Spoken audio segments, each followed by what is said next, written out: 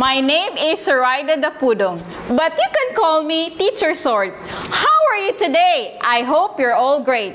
This morning, we're going to talk about personal information. Are you ready? Let's go! We're going to start with first name, last name, and nickname.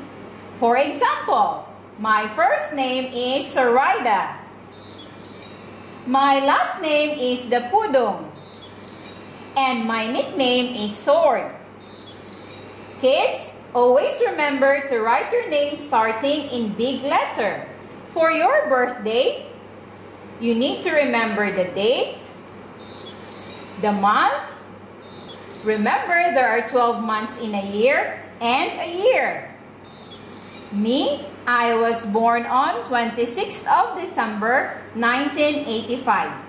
If you don't know your birthday, ask your mother and father to help you, and you need to always remember it.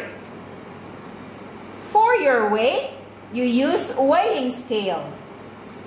So for me, I am 49 kilograms or I weigh 49 kilograms.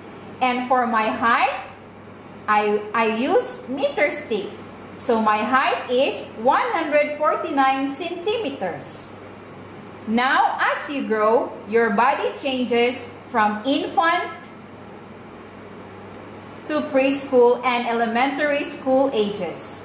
And physical capabilities increase as you grow older.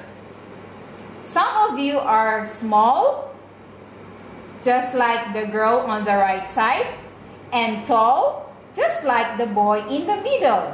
Some of you also will become very big, and thin. There are many factors why it happened.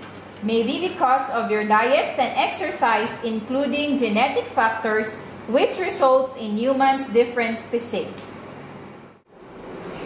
I hope you are safe wherever you are right now.